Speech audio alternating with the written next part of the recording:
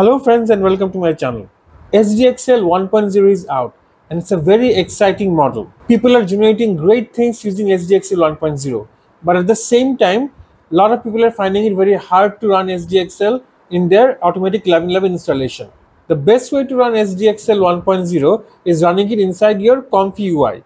But still some people are having issues running it in their Comfy UI but that's not a problem with Comfy. That's a problem with Windows I think when you run something like Comfy UI or Automatic 1111, it is actually fighting with the Windows operating system to get control of the resources so that it can give you the fastest result. Unfortunately, Windows operating system doesn't seem to give enough resources to Comfy UI or Automatic 1111 to be able to run SDXL 1.0 smoothly in the system. So that is why I have installed Linux in my computer. My computer is an 8th generation Core i7 processor with a 3060 Ti GPU which only has 8 GB of VRAM. I'm getting very fast generation speed. I'll show you my generation speed and I will also show you how you can run SDXL 1.0 inside Comfy UI without having to deal with any of the complexities of Comfy UI at all. So I'm in my Linux installation in my computer. So if you want to download and uh, install Comfy UI, you have to uh, do that using the uh, command line interface. So I have actually already installed Comfy UI. I'm just going to show you the steps that you need to take. It's really very simple. This is a link for GitHub Comfy UI page. So you need to uh, go and uh, copy this. And then um, inside Linux, uh, for example, I want to install Comfy UI inside, uh, let's say, my home folder. Okay.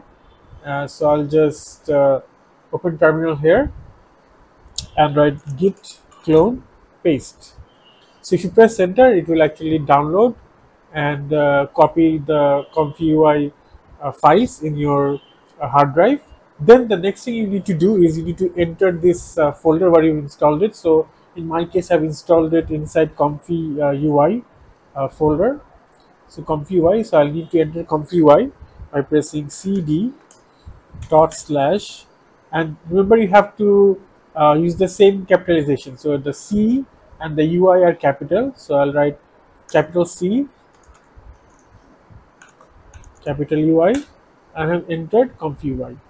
The next step is written here. The next step is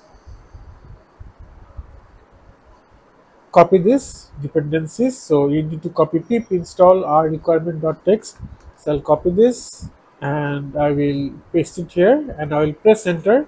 And when you press enter, it's going to download all the requirements, everything that's needed uh, to run Comfy UI inside your uh, Linux installation.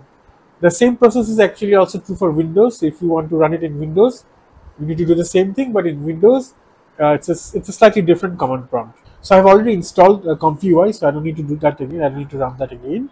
So now in order to run Comfy UI, what I need to do is I need to write uh, Python 3 main dot py and then I'm going to press enter. So it's going to start Comfy UI.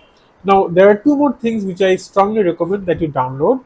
Uh, the first one is the Comfy UI Manager, which is this one. I'll give you the link in the description. So you need to download this. You need to uh, download the zip file, and then uh, after you've installed Comfy UI, you need to enter here, and you need to go to this folder called uh, Custom Nodes and copy paste the folder, uh, the folder that you just unzipped. So you need to unzip it and copy paste it in Custom Nodes and then if you want to run SDXL you need to download the Comfy UI uh, SDXL workflow JSON file. So I'll show you how you can just load this JSON file or any other JSON file and run all kinds of combinations of stable diffusion in your system. So as you can see already my Comfy UI is has started. So I need to go to uh, this particular link. So I'll just copy it paste it here. And I'm inside Comfy UI. So as you can see, because I have already installed uh, the Comfy UI manager, I have this manager here. So it gives you all kinds of uh, different options. I'll show you how to uh, use those options. And uh, already because I have tried a bit of uh, uh, SDXL in Comfy UI, so it looks like this. But in your case, it might look different. It will probably look something like this. So in your case, it might look something like this, which is the uh, standard uh, workflow for uh, Stable Diffusion 1.5.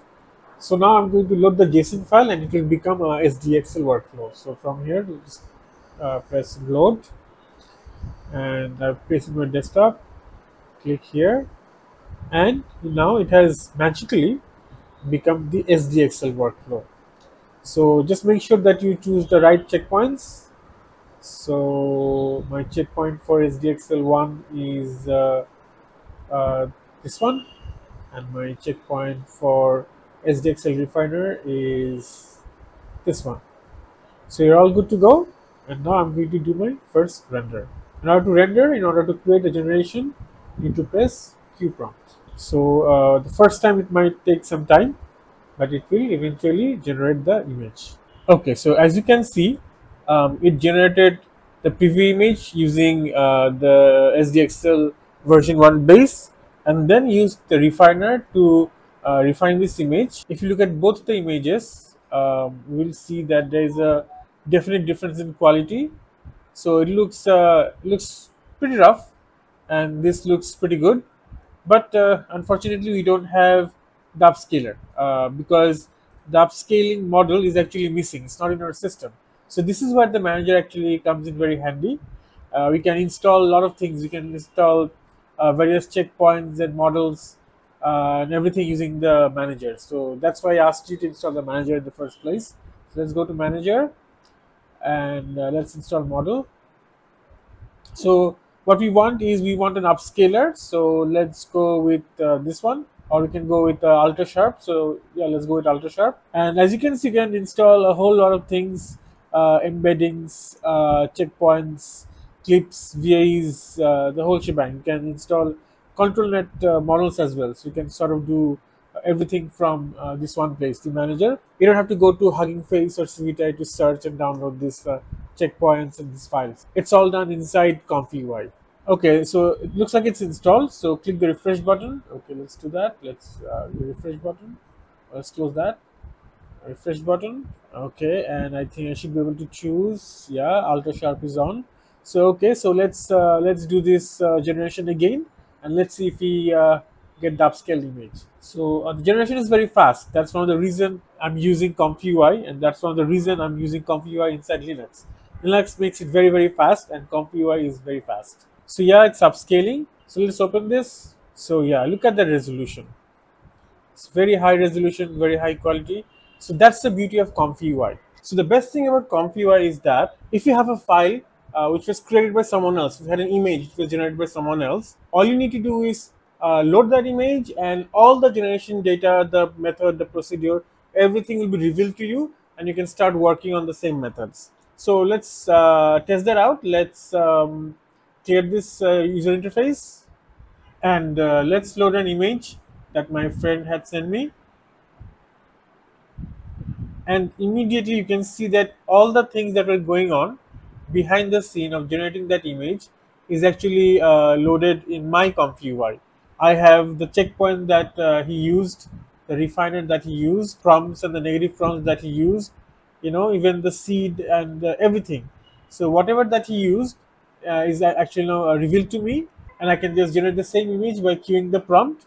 But I'll just do a slight change because uh, my checkpoint is slightly different. So uh, my checkpoints are these for SDXL, and now I'll just queue the prompt.